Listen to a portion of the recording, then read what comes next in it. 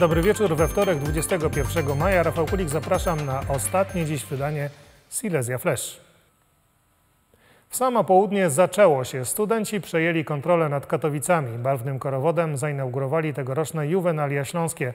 Coroczne święto wszystkich studentów ma już swoją renomę spontanicznej, beztroskiej zabawy, której przyglądał się dziś Paweł Jędrusik. Przez kilka dni to studenci rządzą w stolicy naszego województwa. Barwny pochód ruszył dziś sprzed Uniwersytetu Ekonomicznego w Katowicach. Śląskie juwenalia to przerwa w zajęciach na uczelni, ale za to rozkwit życia towarzyskiego. Żeby dobrze się nauczyć do sesji, pierwsze, że moim zdaniem trzeba dobrze odpocząć, dlatego juwenalia są zaraz przed. Zaczynamy właśnie korowodem dzisiaj studenckim, przejdziemy przez Katowice, a później impreza w klubie i koncerty. A jak juwenalia to oczywiście bardzo wymyślne stroje. Nie brakowało postaci z Gwiezdnych Wojen czy elementów popkultury. Jedi studiują oczywiście, jest wiele akademii Jedi, między innymi tutaj jest jeden wydział na naszym Uniwersytecie Śląskim. No i dzisiaj ruszamy razem z innymi studentami na marsz. No, stwierdziłyśmy, że nie mamy co się przebrać, więc dwie godziny wcześniej poszliśmy do papierniczego. No i jakoś tak się wymyśliło. Trasa przemarszu przebiegała m.in. przez katowicki rynek. Wielu mieszkańców zatrzymywało się i z pewnością przypominało sobie studenckie czasy. No super, bardzo wesoło, kolorowo, ciekawie. Tylko nie wiem, co to za impreza. Korowód studencki Juvenalia. Aha, super, bardzo fajnie.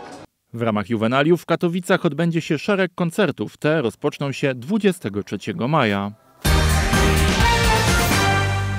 To miała być praca w salonie masażu. Okazało się jednak, że bytomski salon tak naprawdę jest domem publicznym, a jego właścicielka czerpie korzyści z nierządu. Śląskim policjantom udało się ustalić, że wykorzystywanych było tam aż pięć kobiet. Część z nich zmuszana była do prostytucji. Zatrzymana kobieta odpowie także za handel ludźmi, bo zwerbowane kobiety przewożone były do nielegalnych domów publicznych w Niemczech. 52-letnia kobieta zaangażowała w ten proceder również swojego 23-letniego syna. Zastępował ją w Bytomiu, gdy ta była za granicą. Śledczy w toku prowadzonego postępowania ustalili, że kobieta wykorzystując krytyczne położenie pięciu kobiet e, zmuszała je do prostytucji. E, w podobny sposób werbowała również kobiety do pracy za granicą na terenie Niemiec. Tam z kolei pomagała jej w tym procederze 33-letnia kobieta, która w Niemczech pobierała opłaty za e, prostytuowanie się e, kobiet, które e, pracowały w nielegalnym domu publicznym. 52-letnia kobieta oraz jej 33-letnia wspólniczka na wniosek prokuratora decyzją sądu trafiły do aresztu, natomiast 23-latek został objęty policyjnym dozorem. Za przestępstwo związane z handlem ludźmi grozi kara pozbawienia wolności do 25 lat. Od wieków pełni niezwykle istotną rolę w naszym życiu. Kształtuje nie tylko relacje międzyludzkie, ale przede wszystkim gospodarkę. Od prostych wymian handlowych po skomplikowane mechanizmy finansowe. I choć pieniądz z racji swojej natury ciągle jest w obiegu, to przybiera ostatnio nowe oblicza i nieustannie się rozwija dzięki nowoczesnym technologiom.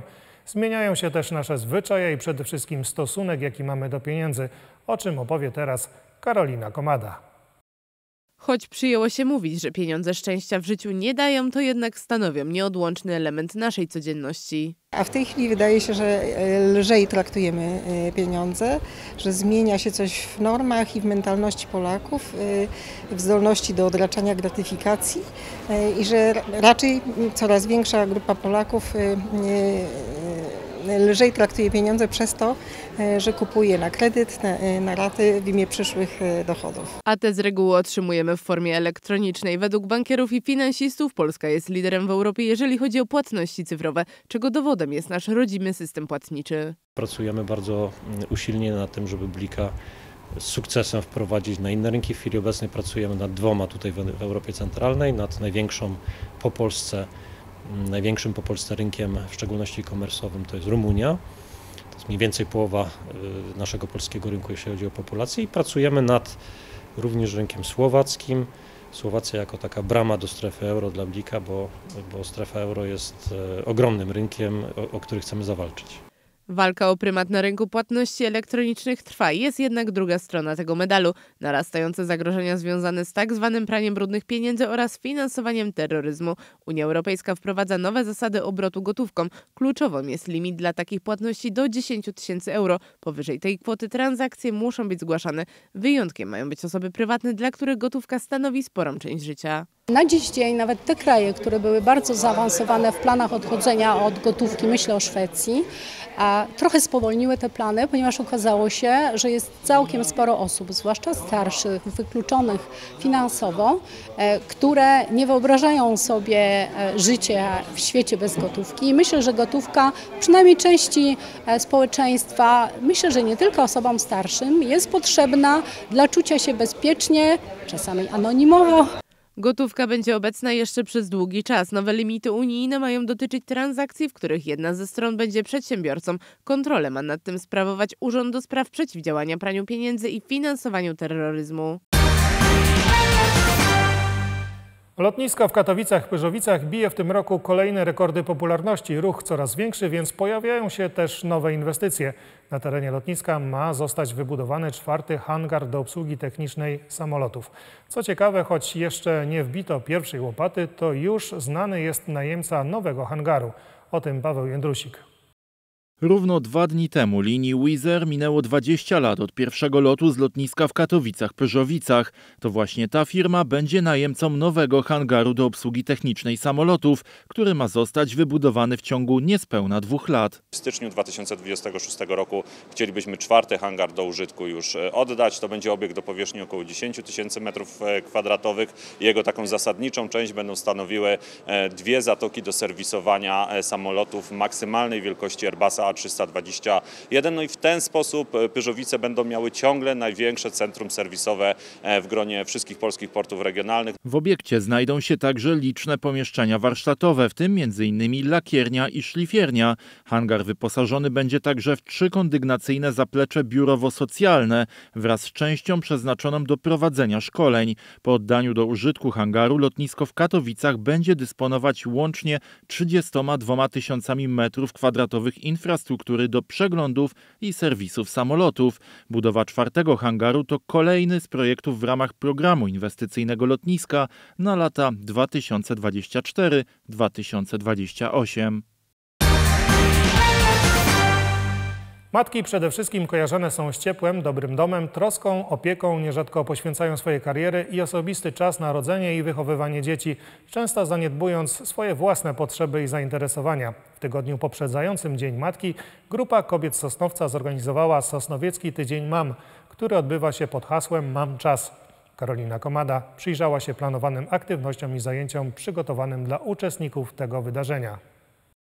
Model macierzyństwa nieustannie się zmienia. Zmienia się też podejście i rola kobiet w wychowaniu dzieci. Te coraz częściej decydują się na krótszy urlop macierzyński i kontynuację kariery. Wróciłam do pracy 7 tygodni po tym, jak urodziłam dziecko e, i powiem szczerze, zdecydowanie mi to pomogło w relacji z moim dzieckiem. Wracałam do domu bardziej szczęśliwa, miałam więcej czasu dla dziecka, ale przede wszystkim Wy nie zatracacie siebie, bo bardzo łatwo jest się zatracić w macierzyństwie, ponieważ dziecko wypełnia nam absolutnie każdą wolną chwilę. Co potwierdza pani Kamila, która przez ostatnie kilka lat poświęciła się macierzyństwu, przestała pracować i zaczęła wychowywać Mikołaja. Ciężko jest e, pamiętać o sobie. Ja w zasadzie jestem taką mamą zaangażowaną, ponieważ jestem cały czas jeszcze na urlopie wychowawczym, teraz dopiero w sierpniu wracam. I przyznam szczerze, że cały czas towarzyszyłam dziecku w tych jego zajęciach. E, natomiast od pewnego czasu, kiedy syn już jest taki większy, bardziej świadomy, e, stwierdziłam, że no, ten przykład naprawdę idzie z góry i ja też muszę pokazać, że jestem aktywna. A mieszkanki Sosnowca mogą być aktywne podczas tygodnia Mam Czas. To cykl spotkań i zajęć sportowych, m.in. treningi jogi, zajęcia z wykonywania makijażu czy wykłady na temat relacji z innymi członkami rodziny. Ważne jest, aby uświadomić sobie, co daje mi poczucie szczęścia. Moja cielesność, moja duchowość, moja relacyjność. We wszystkich tych obszarach kobiety e, w czasie tego tygodnia mam, znajdą coś dla siebie, aby podkreślić i nadać uważności temu. Na przykład e, świetne zajęcia, które się wczoraj odbyły z udziałem uroginekolożki. E, kobiety w czasie ciąży i po porodzie bardzo często mają problemy ze sferami związanymi z rodzeniem dzieci. A więc to, co jest i związane z porodem, z macierzyństwem, ale to jest również związane z kobiecością. Znalezienie równowagi między tymi sferami. Ciągu najbliższych kilku dni odbędą się również zajęcia z samoobrony dla kobiet czy zwiedzanie egzotarium. Finał tygodnia dla mam odbędzie się w niedzielę 26 maja, czyli w Dzień Matki w Parku Sieleckim. Na koniec tego serwisu przygotowaliśmy materiał o myciu rąk. Wydawać może się, że w tym temacie nie ma nic nadzwyczajnie ciekawego, ale wzięli się za niego naukowcy. Jak się okazało, statystyki wskazują, że przeciętnie myjemy ręce zaledwie przez 5 sekund. To stanowczo za mało, by było to skuteczne. Badania ujawniły też, że aż 70% ludzi nie myje rąk po skorzystaniu z toalety. Jak robić to prawidłowo, powinni wiedzieć przede wszystkim lekarze, którzy czynność tą wykonują zupełnie inaczej, dłużej i bardziej precyzyjnie. To jednak nie znaczy, że nie mogą tego zrobić jeszcze skuteczniej. Dzisiaj uczyli się tego przy pomocy gogli VR. Magda Sincewicz. Dłonie zwilżamy sobie wodą celu uniknięcia podrażnienia skóry i mechanicznego, yy, mechanicznego uszkodzenia naskórka. Następnie nanosimy mydło. Takie niby oczywiste, a jednak to dopiero początek przedstawiony w profesjonalny sposób. Zdaje się, że większość z nas niestety zapomina lub po prostu nie wie, jak fachowo myć ręce. Prawidłowa higiena rąk, bo to nie tylko mycie wodą z mydłem, ale przede wszystkim w warunkach szpitalnych dezynfekcja e, rąk e, jest niezmiernie ważna, ponieważ e, stanowi o bezpieczeństwie personelu, jak i pacjentów, przede wszystkim pacjentów szpitala. E, Zapobiega przenoszeniu e, różnych patogenów, drobnoustrojów, chorób zakaźnych, występowania zakażeń szpitalnych, więc jest e, bardzo ważnym, podstawowym elementem pracy i procedur medycznych, które wykonujemy w szpitalu.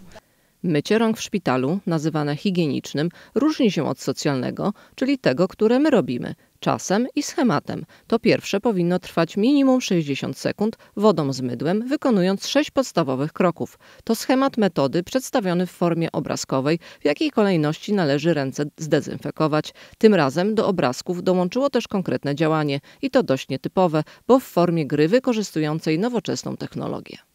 Jest to gra interaktywna, w związku z czym angażujemy wszystkie nasze zmysły, bo oprócz tego, że my jesteśmy w grze i musimy sami podejmować decyzje, angażujemy również e, grupę, która siedzi razem z nami na sali, wspólnie podejmujemy decyzje, wtedy e, my oczywiście słyszymy, my patrzymy, ale my również jesteśmy zaangażowani całym sobą w tą grę, przez to łatwiej zapamiętujemy e, wszystkie te wskazania, do których powinniśmy podążać. Szkolenie z zakresu higieny rąk jest obowiązkowe w każdej placówce medycznej. Powinno się odbywać przynajmniej dwa razy w roku. W związku z dużą ilością obowiązków bardzo łatwo jest nam czasami zapomnieć e, o tym, jak, jak ta higiena rąk e, jest ważna. E, dlatego musi to wejść w nawyk i stąd konieczność częstego przeprowadzenia takich szkoleń, przypominania tego. No a dzisiaj mamy możliwość w bardzo ciekawy sposób nauczyć się tego. Symulacja gry wykorzystującej nowoczesną technologię, jaką są gogle VR oraz wirtualna rzeczywistość, ma kilka scenariuszy. Uczestnicy mogą wcielić się w rolę lekarza lub pielęgniarki, którzy mają różne procedury do wykonania przy kilku pacjentach. System podpowiada, co należy zrobić. Kiedy zostanie podjęta zła decyzja, gra nas dalej nie przepuści. Wszystko po to, by nie robić pewnych rzeczy automatycznie, a mieć zawsze z tyłu głowy i wiedzieć, co się robi i dlaczego. To było ostatnie dziś wydanie Silesia Flash. Spokojnej nocy, dobranoc.